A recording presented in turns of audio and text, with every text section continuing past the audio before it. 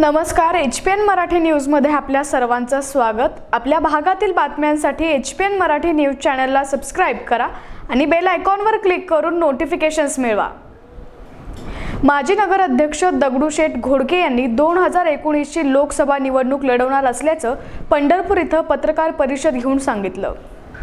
दोन हजार एकोणीसची सोलापूर लोकसभा लढवण्याचा निर्णय आपण घेतला असून यासाठी सोलापूर पंढरपूर दोन्ही भागातील अनेकांनी आपणाला खासदारकीसाठी मदत करण्याचं आश्वासन दिलं आहे या मतदारसंघातील सर्वच तालुक्यातून आपणास उमेदवारीचा आग्रह आहे. सध्या तरी कोणत्याही राजकीय पक्षाकडे उमेदवारी मागितली नाही असं घोडके यांनी यावेळी स्पष्ट केलं.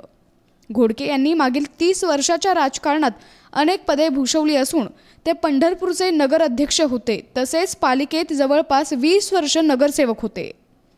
एकोणीसशे नव्याण्णवमध्ये घोडके यांनी तत्कालीन पंढरपूर राखीव लोकसभा मतदारसंघातून केंद्रीय मंत्री रामदास आठवले यांच्या विरोधात निवडणूक लढवली होती व त्यावेळी त्यांना एक लाखाच्या जवळपास मतं मिळाली होती. पंढरपूर सोलापूर मतदारसंघात मी खासदारकीला उभा आहे. उभा राहणार आहे.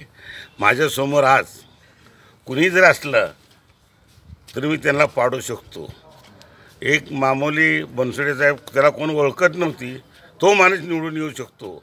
आज महाराष्ट्रात तर मला आणि सोलापूर जिल्ह्यात मला सगळी ओळखतात एक चहावाला पंतप्रधान होऊ शकतो.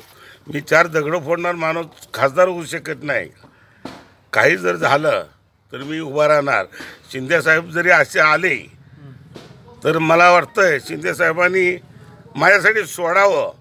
जर नाही सोडलं तर त्यांना मी पाडू शकतो.